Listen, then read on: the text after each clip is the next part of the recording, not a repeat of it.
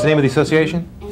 The name of going back about 400 years, the family was uh, Scott, uh, and um, they got into some political trouble around the time of uh, of uh, uh, Wee Geordie, the you know, the, uh, the bastard king of England, etc. I don't know the exact politics, but we had to flee, Okay. so we, we Are we fled. rolling? Oh, we are. fled to Ireland and uh, changed the name from MacIan to McKean, which was uh, neutrally Scots-Irish, and uh, that's supposedly how it happened. Then we came over here and signed the Declaration of Independence, and we're very active uh, in the Revolution, all that stuff. So we're definitely Americans more than anything else.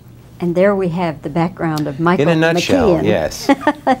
Hey, it's nice to meet you. Nice to meet you. Enjoyed your performance very, very much. Thanks. You're this very hyper hustler type guy.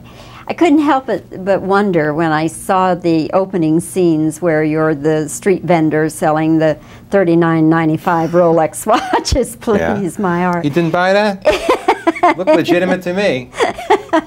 But have you ever bought anything from a street vendor?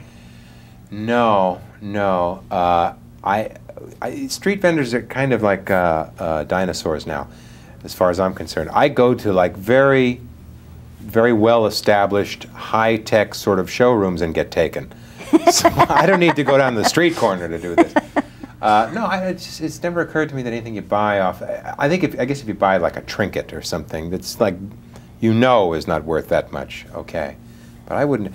I do. I've had people come up to me and offer to sell me watches. You know, and when they roll up the sleeve like this and they got nine watches on there, you know that maybe your turnover is not the most important deal he'll make today anyway. So. Uh, I always think that watch out, he's he's reaching for my wallet at the same time he's be, showing me the, yeah. the watches. I, Yeah. I get rid of those guys in a hurry. Yeah, I, uh, I had the experience, this is kind of in a more carnal aspect, but I was driving down the street, uh, going to make a, a right on Sunset once, and this, um, this young lady, who was rather heavily made up and rather skimpily attired, reached into the car. And how would I know she was reaching for my wallet? you know, it was one of those things. There was definitely some kind of solicitation going on there. And yet, if she could have come away with the cowhide with the gash in it, then that would have been just as good. So you always got to be careful. That's true. You know, you never know what someone's trying to sell or just take. Let's talk a little bit about your working with number five. Okay. Let's say five, ten years from now, and you're looking back on this movie. What are you going to remember as the wildest thing that happened? Well, wildness, eh? Uh, I guess it was the third time we had to reshoot the scene of me going down the street on the robot's back. Because while we're not really going 50 miles an hour like it looks, it was so cold and so unpleasant, and we had done it so many times because of various mistakes in the film, in the, the technological aspects of the film. Uh, I don't know whether that's such a wild moment, but it's certainly one that'll make me grit my teeth. um, I don't know. It was it was a fairly plodding experience, um, broken up mainly by the presence of uh, Mr. Stevens and uh, Mr. Weston and Miss Gibb. We were all kind of in an absurd situation and did have a lot of fun on the set, so that was nice. Did you ever feel that sometimes the actor part of it, your part of it, Mhm. maybe was taking a back seat because of all the technology involved with number five? Um, gee, I don't think so. I just I think it it was kind of demanding. So I think that's the opposite happening. I think it's like uh, maybe the challenge was to treat it like uh, you know a real situation. Chances are, in my real life, if I ran into a robot thing like this, I'd look around for who was working it. I wouldn't buy that this was really happening. But to make that step to like swallow the story you're being told, I think that's step one of any acting performance, and it was kind of a challenge this time. So I don't know whether it takes a back seat or not. I, I found it at by turns amusing and frustrating.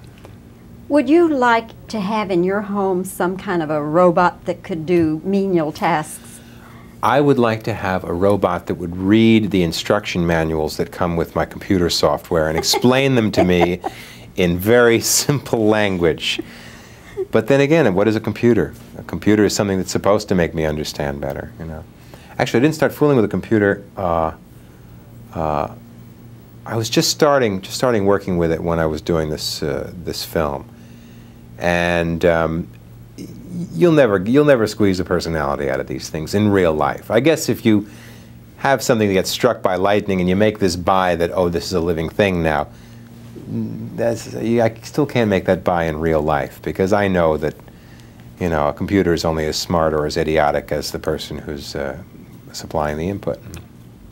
Well, it's a fun movie, and it's Thank fun you. to watch you in it. I appreciate that. And I just talked to your old friend Penny Marshall a week or so Oh. ago. Yeah. One of the best people in the entire, in this or any other business, I might add. yeah. Yeah, she's Neat got lady. a big new movie. I haven't seen it yet, but um, I got faith in her. Okay, and Tom Michael. Hanks, too. Awfully Yes. funny man. Good to talk with you. Same here. Thanks a lot. Bye. Nice interview. Is there any re-asks? Yes, I do have to do re- something. Wait a minute. Wait, wait a second.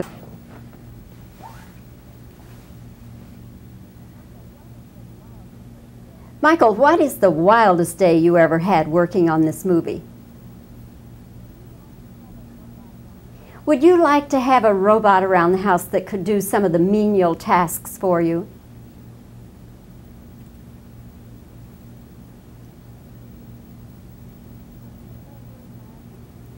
Have you ever bought anything from a street vendor?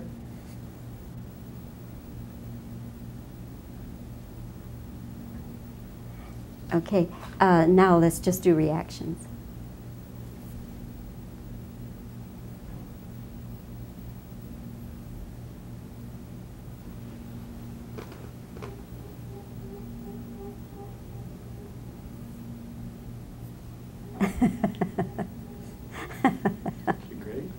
I said something funny, and I didn't even know.